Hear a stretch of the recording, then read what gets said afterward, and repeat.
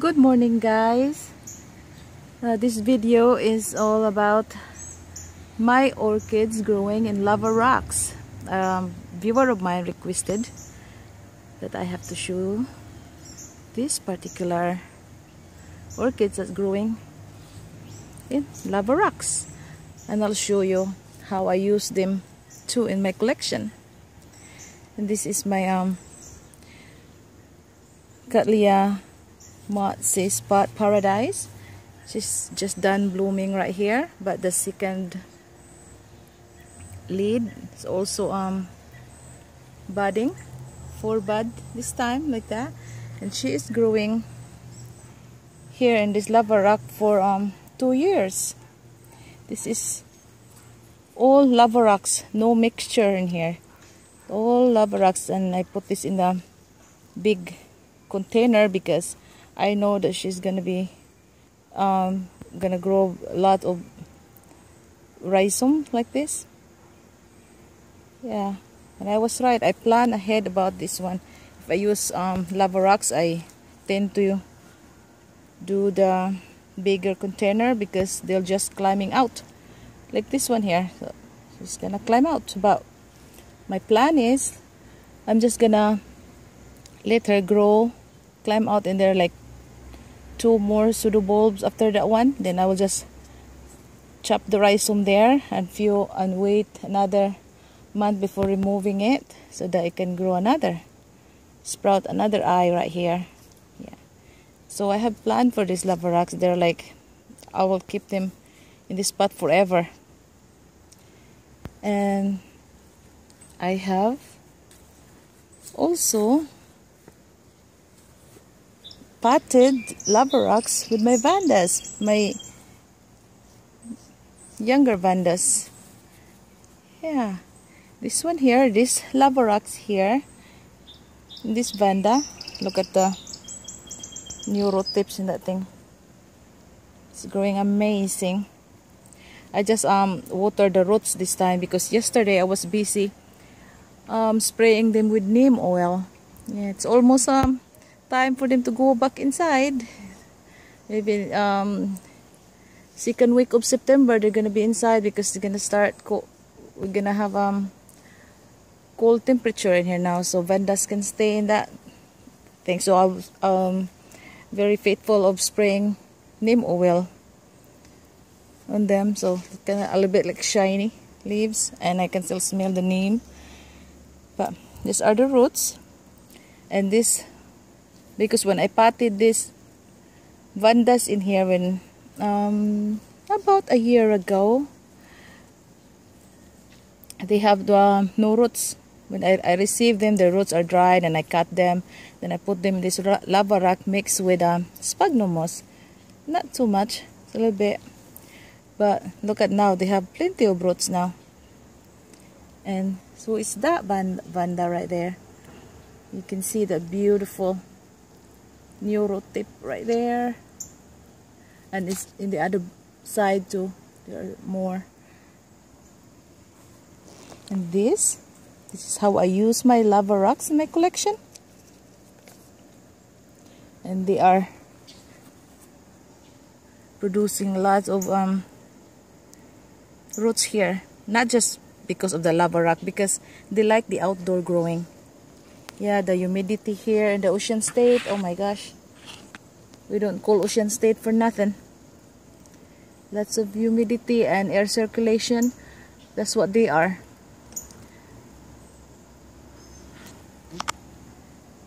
So they're very helpful to me during the winter because like um they dry quickly.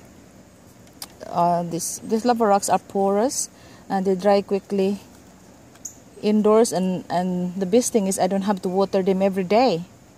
Yeah that's why I choose this one. But I also have a picky vandas that they just don't do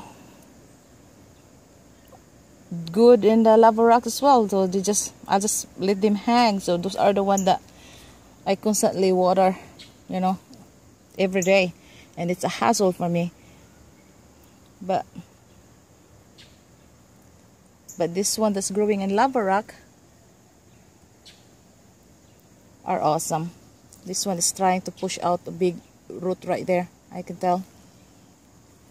And besides this potting um, all in um, lava rocks I also use lava rocks for um, just top dressing. Look at this. This is my um it used to be a beautiful foliage um, red spray Renanthera and after my vacation it suffered cold. It lost a lot of leaves and now it got replaced by roots. There's one root here and another one poking out right there. So I feel okay about that now. And this one here is also straight lava rocks yep and this is a seedling from Mott's Orchid. It's a freebie. And she's got it's growing in there. Lava rocks outdoors in the rain humidity air circulation. Oh my goodness they just flourish in here. This one here not lava rock but these are the the rocks that I found in the they collect from the beach. I like to um go in the beach and every time I go I get a souvenir rocks. Please beach please don't don't um, arrest me for taking some rocks. Sorry. Yeah.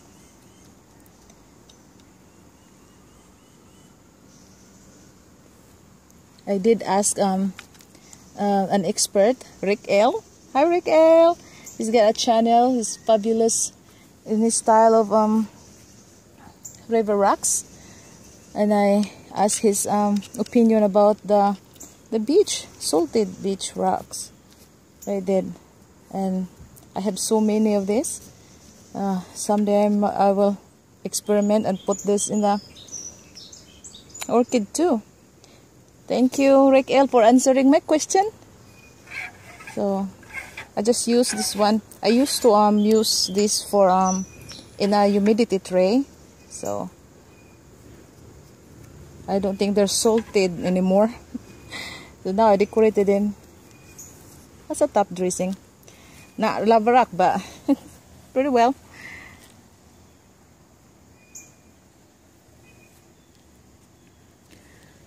And I also use uh, lava rock here in this basket, hanging basket, to save some of this orchid. Because these are the orchids that used to be in the pot and they just not do well in there. So I put them in the hanging basket with lava rocks instead. And look at that new brand new roots right there. And look at that in there. I can just see the new new growth that's grown today. I mean this season and look at that yeah another usage of rocks for me in my collection. And this is example how I use rocks in my collection. The the baby Vanda testacea right there, species Vanda. It's a freebie from Tropical Orchid Farm. Look at that. And it's thriving in the in this hanging basket right here. And I put um few lava rocks in there to just at least hold the moisture longer so that I don't have to keep coming back twice or three times a day to water them. The Lava rocks are doing well. I mean, the orchids are doing well with this lava rock setup right here.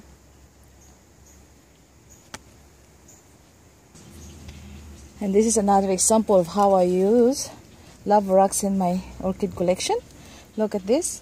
This cattleya right here growing a sheath but the new growth also is climbing out but I wanted to put that in a bigger pot that will contain her and then um, but I don't want to repot her completely just want to uh, secure her in there without wobbling so I just use lava rocks to fill in, in there instead of just like pot um, over uh, inside another pot like that and if they wiggle they wiggle waggle inside and that's that can break that can cause a breakage of the root roots.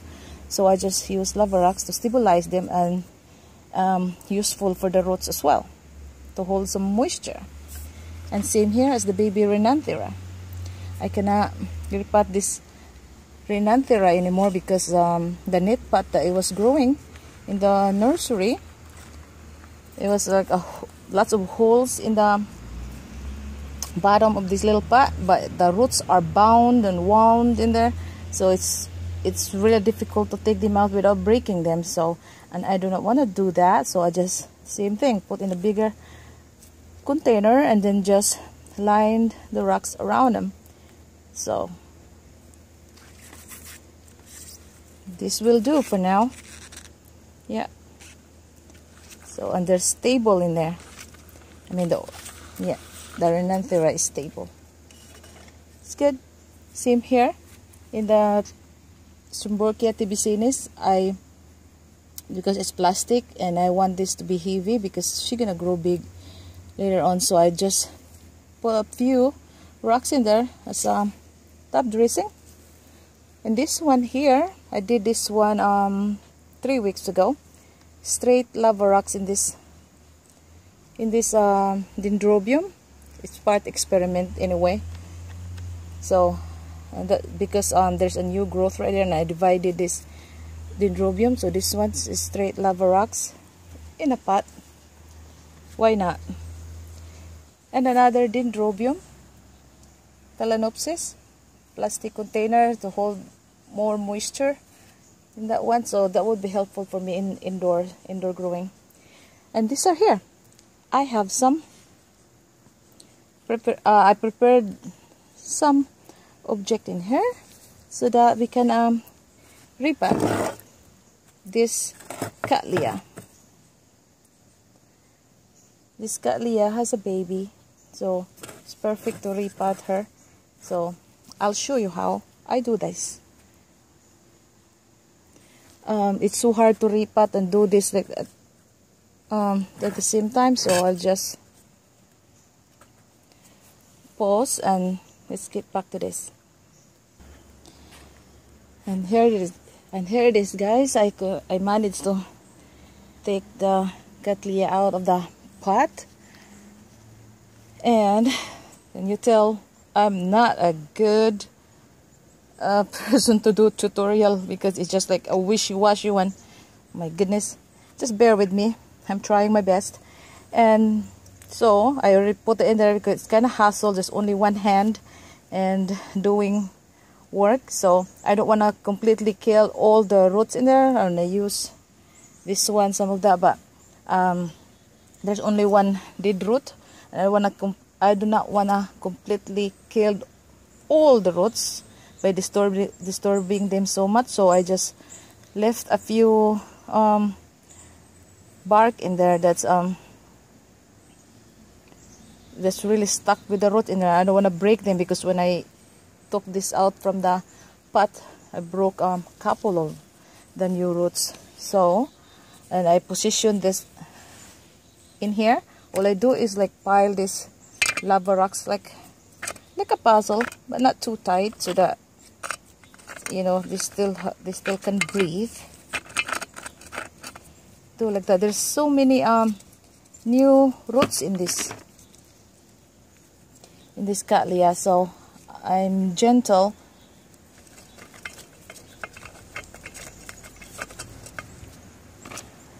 I have some um, small and medium rocks right here lava rocks so I use them. So in the small one I'll put closer to the roots so that we can uh, use that and wrap around the roots in there quickly.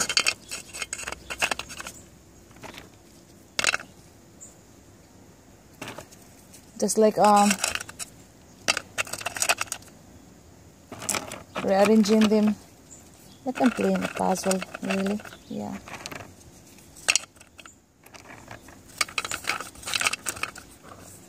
and I use like I said I use bigger pots so that I do not need to keep doing this. Because I do not really as much as I like my collection I do not like to do repotting. Because I'm all about the bloom guys. And I learned that if I wanted a nice bloom then I have to take care of the plant. That's why if I want to grow plants so I will uh, learn if I want to see beautiful blooms then I have to learn how to care for the plants right? What I'm doing. I'm not an expert with this one but I'm trying my best for them. Yeah. And if this one doesn't like it in here I always just change tactics so I will just remove and transfer this to the bark medium so that's what I do sometimes during my experiment I will bring the plant in the brink of death then then I will save it yeah I like this little size of lava rocks I don't like this too big. I only use this big one in the bottom. Yeah, especially if I have a deeper pot. This big lava rocks is good. But to um, actually repot them, I like these uh, smaller ones. Well, I, I could like, uh, I think get a hammer and break them down, but I don't want to do that. Don't want to do that, but you could if you want to this is just how I, how I do things in my collection yeah. that's the rules that's that's the rule I made for myself if I want to see a nice blooms then learn how to take care of the plant itself and that's what I'm doing and I'm not an expert at growing guys so that's what that's what um Oh, there's a new one right there. It's growing. I didn't even realize it. Good thing I didn't break that one. There's another um eye in there. It's going up. Yep. So lucky.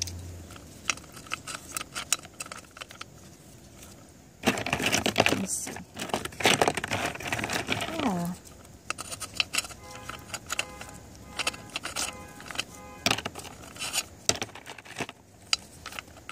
that's my motto. My motto is like beautiful flowers. Learn. Oh, my motto that my motto sucks. Didn't even rhyme beautiful flowers take care of them if you want to see beautiful flowers take care of the plants learn how to take care of the plants I should say just doing this like um look at that they're pretty stable not wobbly whatsoever. Look at that. Very nice, guys. And this is pretty much pretty much it. Um, I don't want it to get too much so that they don't get the idea of climbing out. So, I think this is good. Uh, this is really perfect during like summer growing raining the it get rain on and then um humidity at ocean state has plenty humidity but i don't have to worry about that here outside. And ventilation but sometimes we have a still something but this still managed to grow. We still have um sometimes uh, this one is not as high of a humidity. But my husband likes it because he's human being. He doesn't like humidity. So oh well the plants learn how to um deal with that too. So this baby here is good. And then put the tag I should put the date that I repotted is in here but I don't have a pencil right now. But anyway that's all um that's all guys. Like um um what else I can say about this? It's good. I don't I don't do this um, lava rocks in all my orchids. I'm selective. To um, a few dendrobiums and mostly vandas and cattleyas yep okay guys um thank you for watching. Bye